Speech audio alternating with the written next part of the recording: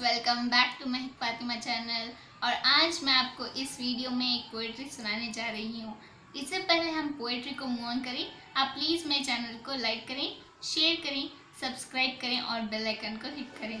तब हमारी poetry start करेंगे। मेरी ज़िंदगी में कोई गम ना होता। मेरी ज़िंदगी में कोई गम ना होता। अगर किस्मत लिखने का हक मेरी माँ को मिला होता। अगर किस्मत लिखने का हक मेरी माँ को मिला होता। कुछ सपने किस्मत ने तोड़ दिए। कुछ सपने किस्मत ने तोड़ दिए। बाकी मैंने देखने छोड़ दिए। बाकी मैंने देखने छोड़ दिए। मेरी एक दुआ है खुदा से।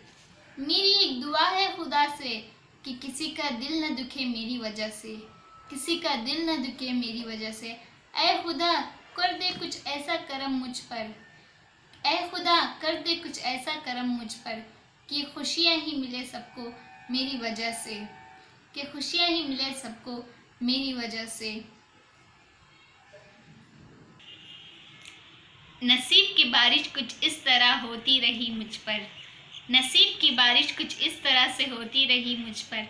ख्वाहिशें सूखती रही और पलकें भीगती रही। ख्वाहिशें सूखती रही और पलकें भीगती रही।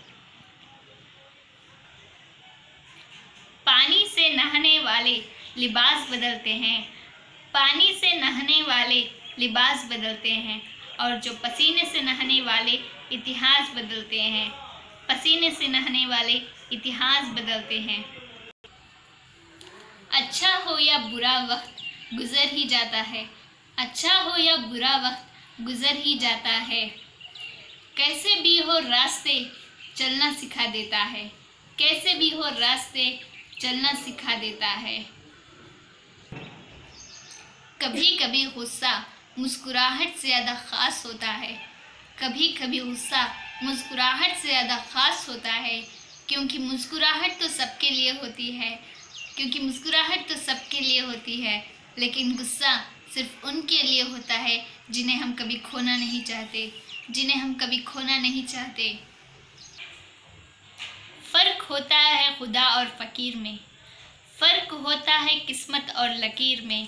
अगर कुछ चाहो और ना मिले। अगर कुछ चाहो और ना मिले तो समझ लो। बहुत अच्छा लिखा हुआ है तुम्हारी तकदीर में। बहुत अच्छा लिखा हुआ है तुम्हारी तकदीर में।